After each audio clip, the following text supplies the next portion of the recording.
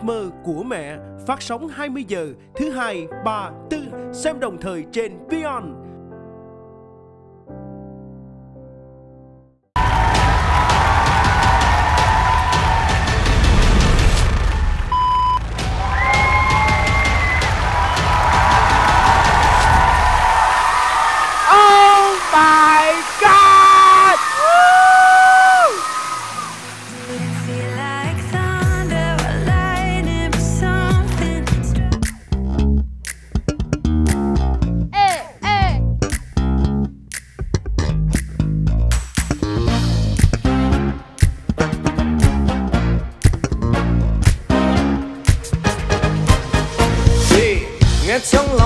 Quay từng lời ngọt ngào mới say.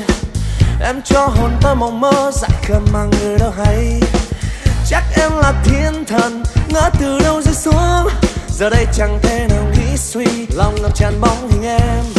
Đừng vội đi, hãy đến bên anh này, để cho anh được nhẹ nhàng ngắm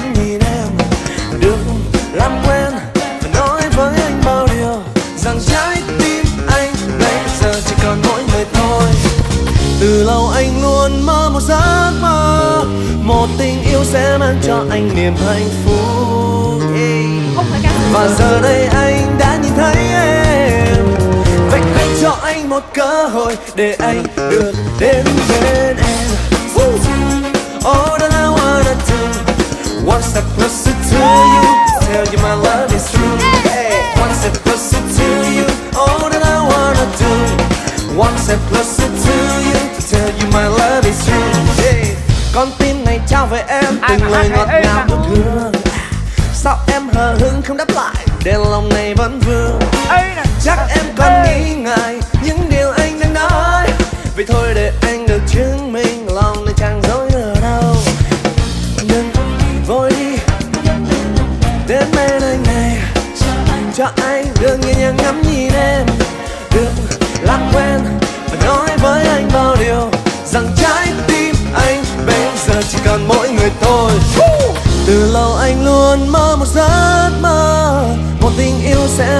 em niềm hạnh phúc, yeah. Và giờ đây anh đã nhìn thấy em Vậy hãy cho anh một cơ hội Để anh được đến bên em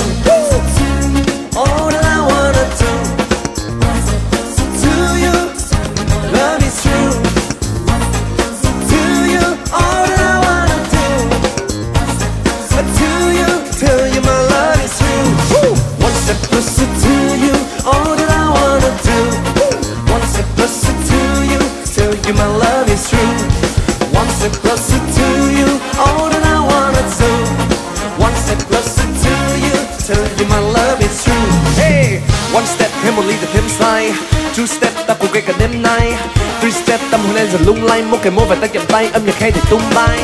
uh, baby đừng cho anh đợi lâu, không muốn chuyển sang nên rồi ta xa rời nhau. Em ơi tình yêu không thể nói qua vài câu, chỉ còn cách yêu dài lâu. One, two, three, let's go. uh. Một tình yêu sẽ mang cho em niềm hạnh phúc Và giờ đây anh đã nhìn thấy em Vậy hãy chọn anh một cơ hội. Vậy hãy cho anh một cơ hội. Vậy hãy cho anh một cơ hội Để anh được đến bên em. Woo! All that I wanna do, Come on! One step closer to you. Tell you my love is true. One step closer to you. All that I wanna do. Woo! One step closer to you. Tell you my love is true.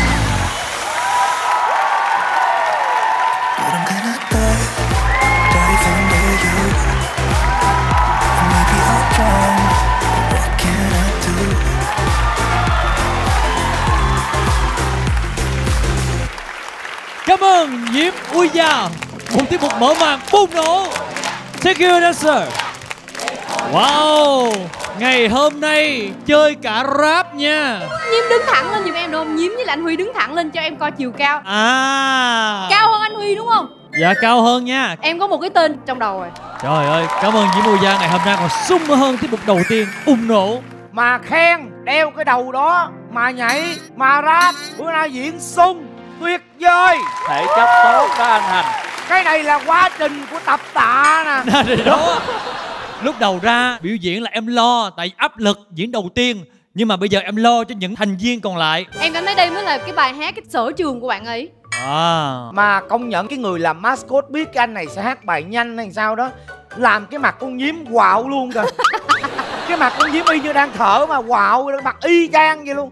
Hay thiệt Cho em xin phép đính chính lại Lần này thì em có thể thấy được nhím Uya một cách rõ ràng hơn Wow. nhiều. Cái này chắc chắn là không phải anh Johnny Chí Nguyễn rồi. Em nghĩ tới một nhân vật rất là phù hợp Đó là anh Johnny Chí Nguyễn. What? cái cặp mắt kính của em thay đổi. Một cái nhìn mới, một cái nhìn mới. Mắt kính mới là thấy Dạ. con người mới liền. Dạ. Và bây giờ chúng tôi sẽ cung cấp cho hội đồng cố vấn một dữ kiện.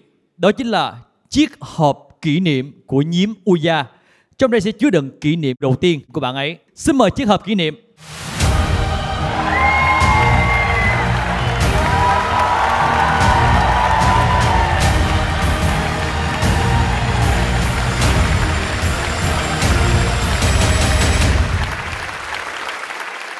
Bây giờ chúng tôi đang có trong tay chiếc hộp kỷ niệm của nhím Uya. Đây sẽ liên đới đến điều đầu tiên của nhím Uya. Và Huy xin phép được mở chiếc hộp ngay bây giờ. Wow. Giấy à. Qua lớp giấy này phải tên tính vật thôi. Hết hồn Đây. Một đôi giày da đã sờn rồi.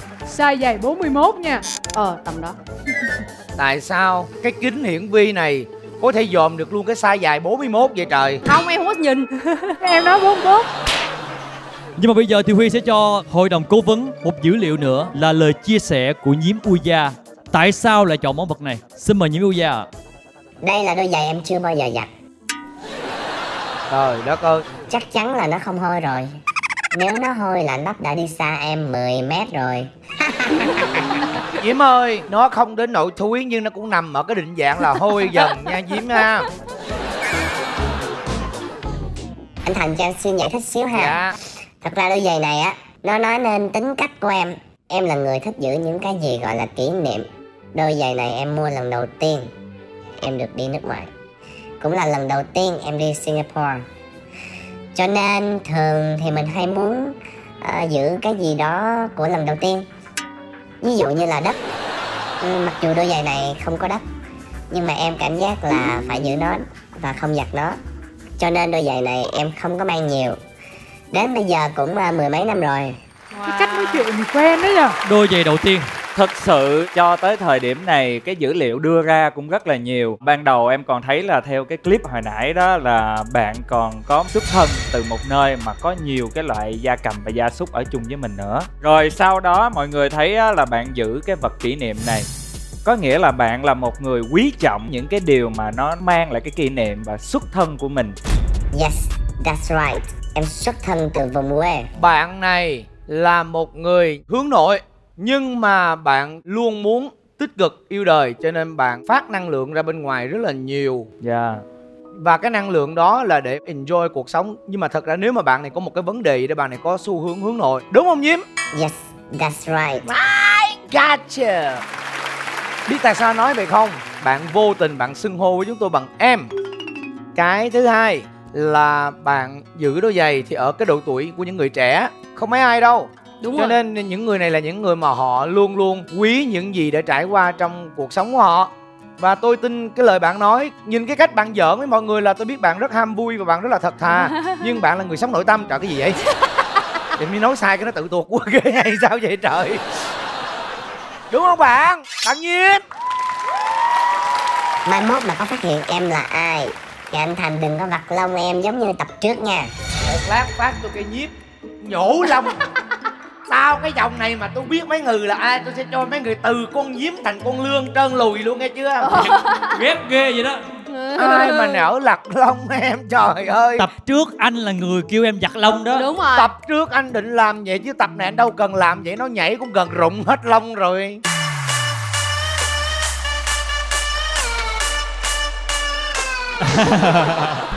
Em nghĩ rằng là ba người ở đây chưa đoán được bạn này nữa Nhưng mà em khá là chắc chắn bạn này là ai rồi. Mỗi lần tiên chắc chắn là mình Không lo. lần này là honest lắm.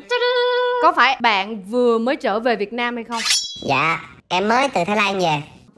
Đừng có vế sau chỉ cần đúng là được rồi. Sao mắc cừ quá nói không cho ta phản biện. Hả tại vì cái vế sau là cái vế làm nhiễu em. Người ta thèm xôi xoài người ta Đúng. bự giảm bạn này rất khó đoán tại vì hôm nay khi mà nghe giọng hát bạn này một lần nữa thì em có cảm giác rằng bạn này mới vào nghề hoặc mới lấn sân đi hát chứ không phải là xuất thân 100% là một ca sĩ. Đúng rồi, hồi nãy có một cái chi tiết bạn nhận được rất là nhiều cái cuộc điện thoại Trên đó có cái chữ Mr. Win. Đúng rồi, có nghĩa là bạn đã thay đổi cái cuộc đời của bạn làm gì đó và bạn chiến thắng. Huy ơi Mình có thể suy nghĩ đơn giản hơn. Win là Thắng Thắng là ông Cao Thắng. Ông Cao Thắng. Gọi về công ty. Không lẽ lại là sóng luân? Nhưng không phải song lương bạn này có một bài hit. Nói cho sợ Nói cho sợ. Khi anh ra đi quá khứ còn lại gì? Khi em ra đi quá khứ còn lại gì? Trái tim này mất môi này chót trao người nào hay? Em xin phép không được trả lời câu này. Từ chối bình luận thì hát theo đi ạ. Tại bài của mình thì mình hát theo được mà bài ờ, quá khứ còn lại gì? Đúng là không gì có thể qua mắt được phụ nữ. Wow. Sợ chưa? Nhân Tiên ơi hãy cẩn thận Lỡ đâu là nhận vơ nha. Không thứ nhất là bạn hát tiếng anh giỏi. Thứ hai là cái bài vừa rồi á tiên có nghe được cái giọng ít nhiều. Và thứ ba là cái dữ liệu đôi giày. Bạn này có một cái gì đó rất là rock trong người. Thì cái phong cách bên ngoài bạn này rất hay mặc áo khoác da đinh tán quần jeans và đôi giày đỏ rock cô nguyễn! Wow trời ơi! Hay vậy ta? Cái này là tôi bó tay nha tại vì nó nằm Cái này là ngoài kiến thức tôi luôn. Nhưng đâu. chưa chắc đúng. Cái cách đứng nói chuyện là giống lắm ạ. Cứ vậy nè. Đó cứ vậy xong rồi rất là tăng động trên Lúc đứng nói chuyện á là sẽ đúng rất là chính calm. xác. Chính xác chính xác chính xác. Thành xin lỗi bạn nếu thành có nói điều này tại vì những cái người mà người ta thường trải qua một cái nỗi đau lớn một cái biến cố nào đó người ta thường lấy cái sự vui vẻ bên ngoài ra để khỏa lấp cho cái điều mất tự tin của mình mỗi khi xuất hiện trước đám đông. Cho nên người ta thường có xu hướng là biểu hiện một cái gì đó đứng cũng không yên ngồi cũng không yên tay chân búng ra búng lại để làm gì ạ? Để trấn an bản thân. Và nhớ là những gì tôi đã nghe thì oh my god hình Đúng như không? là mà hát tiếng anh rất là chuẩn. Yeah. You got damn right. Ừ, ủa chứ gì Mọi chuyện không diễn ra dễ dàng vậy đâu. Ờ, Bạn đã từng tham gia một chương trình nào về âm nhạc mà ngoài quốc gia Việt Nam chưa? Ghê. Diễm không muốn trả lời. Không muốn trả lời là có rồi. Có thể là không phải nha. Cái dấu hiệu này là không phải. Đó là tôi không muốn nói nữa bởi vì tôi sắp lộ rồi. Bây giờ để xem anh ấy là ai. Khoan. Có vệ sĩ, có vệ sĩ mở giùm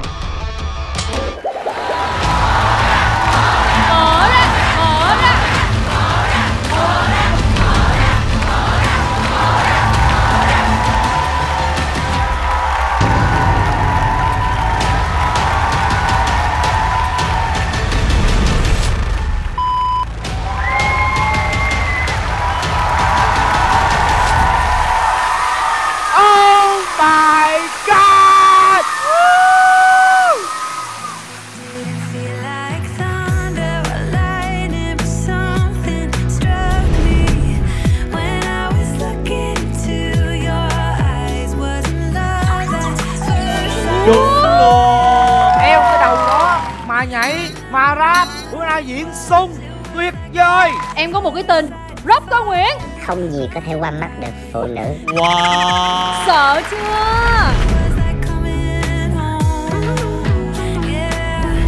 Có đang sinh sống tại Mỹ không? Biết có phải là sông Luân hay không? Wow Ta đã thấy người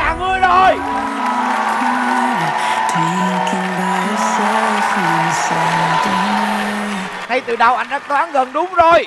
Có nằm trong option của anh, anh đã không dại dột nghe lời em.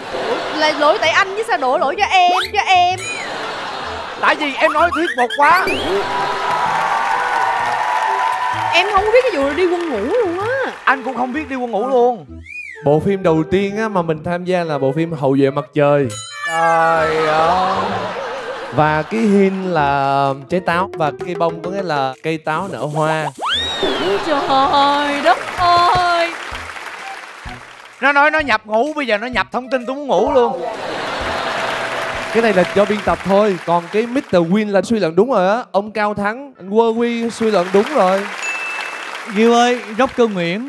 Em coi thưởng cô phạt cái năng lượng của chị tiên rồi chị biết ai rồi chắc chắn là ai rồi. Em ngồi bên cạnh em bị ảnh hưởng chứ. Nhưng mà nó có rất là nhiều cái điểm để chị phải suy luận ra là như vậy. Tại vì theo cái đôi giày da nữa thì chị thấy là rocker rất là hay mang cái kiểu mà đinh tán da vậy. Đúng đúng đúng đúng.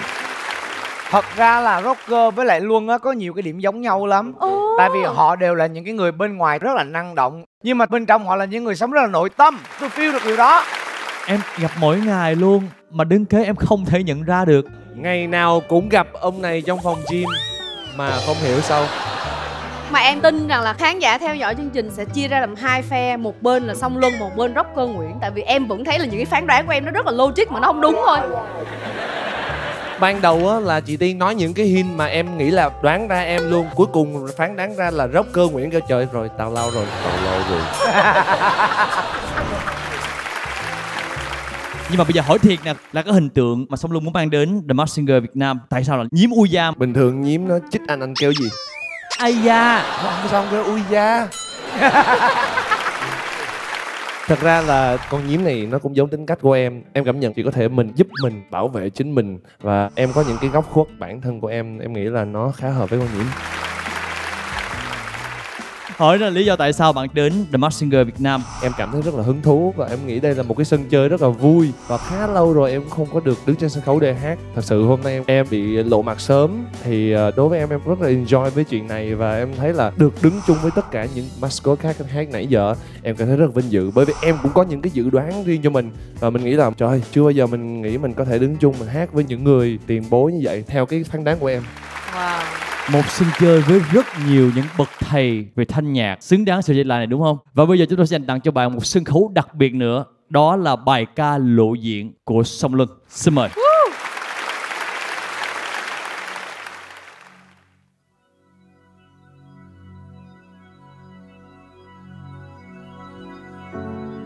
Tình yêu giờ chỉ còn lại, bóng trong tan sữa nhạt nhòa nghĩ xa em là điều tốt nhất cho cả hai. Lời chia tay nói nhiều thành thật. Cuối chân trời nắng đang nhạt dần. Chẳng ai trên đời lại như anh đổi tình yêu để lấy cô đơn. Điều quý giá nhất trên đời là em. Tại anh không giữ hạnh phúc cạnh bên mất em rồi chẳng còn gì để mất nữa. Anh ôm trọn tiếng nuối. Cẩn thận cất giấu nỗi buồn về em. Cuộc tình song phương giờ hóa đơn phương. Trách anh ngu muội tự đánh mất món quà do trời ban. Một mình anh với cây đèn cổ ngồi chiếc làm anh vẫn suy tư chân anh rung thì còn đặt nổi phim đô mắt anh cay khi mà nghĩ về quá khứ có lẽ đây là bài hát đầu tiên anh sẽ nói ra hết cho chuyện tình giữ im lặng lâu nay không lên tiếng với hy vọng cùng em đón bình minh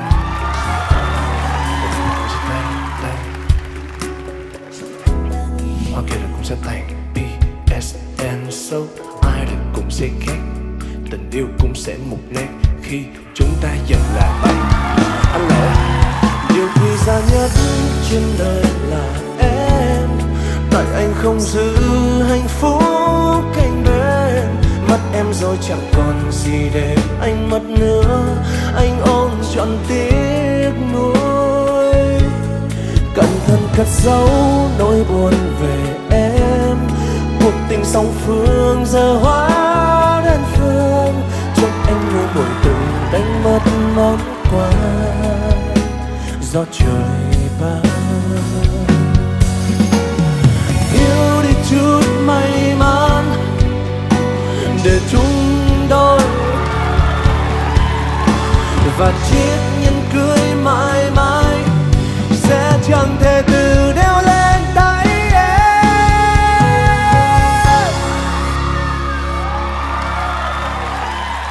Thời gian sẽ xuống trả lại cho em hạnh phúc, em mong đợi, nhưng lại chẳng thể trả cho anh món quà do trời ban. Chẳng ai trên đời lại như anh đổi tình yêu để lấy cô đơn.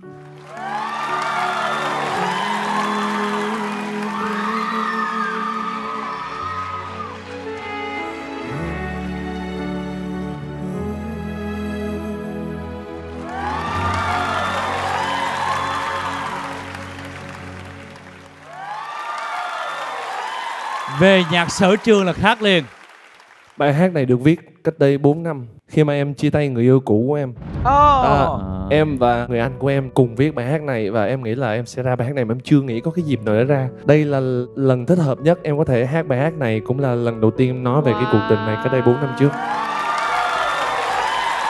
lần đầu tiên luôn Đúng chủ đề chúng ta ngày hôm nay Những điều đầu tiên. Yeah. hay quá. Và khi mà ra cái bài này lần đầu tiên cũng là lần đầu tiên bạn ấy nói rằng là đã gạt bỏ được mối tình đó rồi. Bây giờ đã sẵn sàng yêu một người yêu mới rồi. Mà tôi nói thật cái nha. Tại sao một cái người đẹp trai, hát hay, dễ thương như sông Luân tới giờ vẫn ế là sao trời ơi?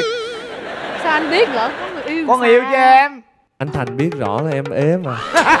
Bạn cầu lông. Trời ơi Các bạn nữ ơi Các bạn đang ở đâu ạ ở dưới đây nè Và thưa quý vị, nếu mà các bạn muốn làm quen hoặc là giao lưu với nam ca sĩ đang độc thân song luân, hãy gửi mail về cho chúng tôi themassingervietnam.vn. Chúng tôi sẽ giảm 10% cho những cuộc gọi đầu tiên rồi, cảm ơn Xuân rất là nhiều. Và bây giờ xin mời hội đồng cố vấn chúng ta hãy cùng nhau bước xuống sân khấu để nói lời chào tạm biệt với Song Luân cũng như quý vị khán giả. Xin mời.